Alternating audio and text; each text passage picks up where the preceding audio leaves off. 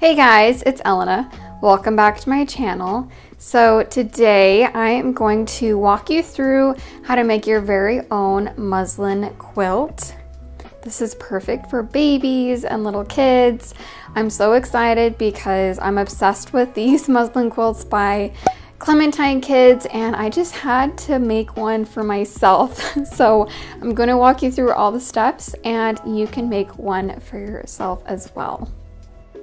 This blanket is 46 by 46 inches and so I got about one and one third yards of a muslin fabric for the top, one and one third yards of a muslin fabric for the bottom, and then batting that was around or at least 46 inches by 46 inches. I started off by laying out all of my fabric. So I laid out the bottom layer of my muslin and then I laid out and smoothed out the batting on top of my muslin and it's really important at this step to make sure that things are sitting nice and flat and there's nothing like puckering or bunching up underneath. So once you feel good that the bottom layer is smooth, the batting is smooth, then you can lay on the top layer of your muslin and also make sure that this is smooth. if you are seeing a pattern, we want things to be as smooth as possible. Try to line up as many edges as you can. Things aren't going to be perfect in this initial step, but that's totally okay. So once you have things lined up and nice and smooth, you can go ahead and start basting with pins. So with this, you want to just start in the center and then work your way out. You don't need a ton of safety pins, but just enough so that things are holding together all throughout the quilt. And then I just went ahead and trimmed off that excess batting and any super obvious excess fabric that's like totally hanging over the edge. Again, at this step, it doesn't have to be perfect or the exact size as we still have a couple other things that we need to do first.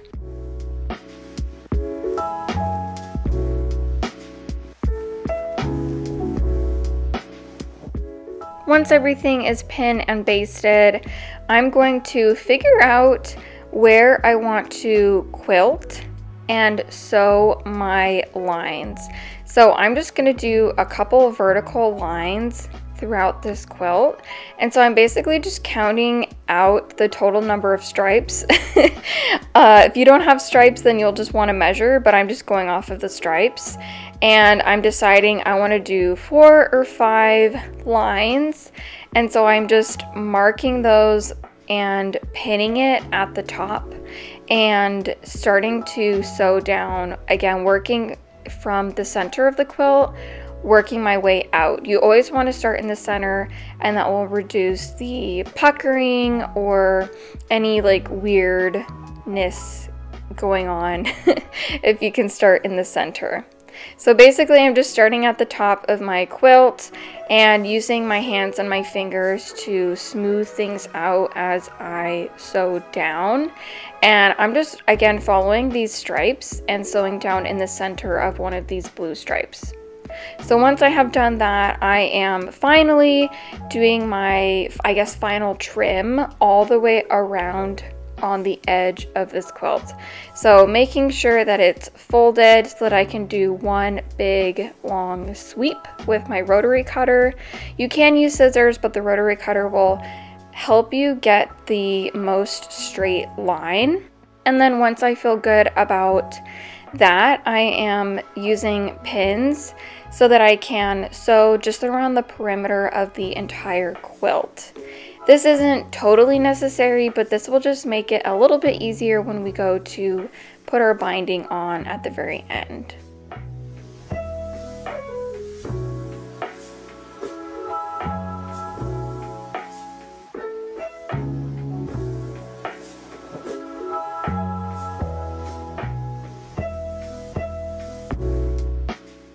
So here's what that looks like. Again, I did a very small seam allowance because I don't want this to show. Um, but I am trying to mimic a Clementine Kids muslin quilt, which are adorable, and they have rounded corners, and so I wanted to do rounded corners on this quilt as well. So I just found a plastic plate. I lined that up with the edges and used that as a guide to round the corners. Once I did that, it is time to put on the binding, which is very exciting. So I am using double folded bias tape. I am unfolding it completely and then lining up the raw edges of the bias tape in my quilt. And then I am sewing in that first divot closest to that raw edge. And I'm doing that all the way around my quilt making sure to fold in that initial start when I am adding my new bias tape so that when I go to close it, it has something to overlap and finish nicely. And when you go around these curved edges, it's really nice because you don't have to worry about doing mitered corners because there's no corners. we just have these curved edges.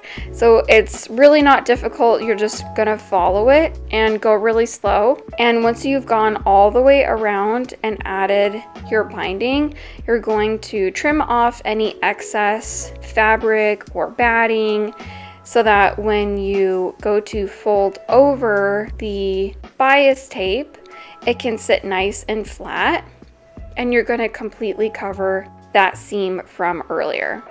So what I like to do is trim off any excess fabric and then fold down my bias tape binding and then pin all the way around.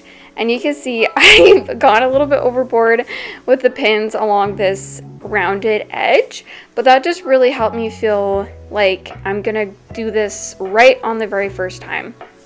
So once I've done that, I am just sewing very, very close to the edge of my binding, but on the actual binding. So I'm sewing on the binding, but sewing very close to the edge so that it will hit the front and the back.